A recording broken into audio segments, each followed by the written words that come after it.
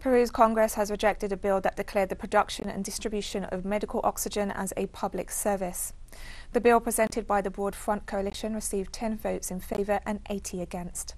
The initiative proposed to allow the Ministry of Health to make use of facilities for oxygen production, storage and distribution in the areas hardest hit by the pandemic to put supplies at the service of the national health system.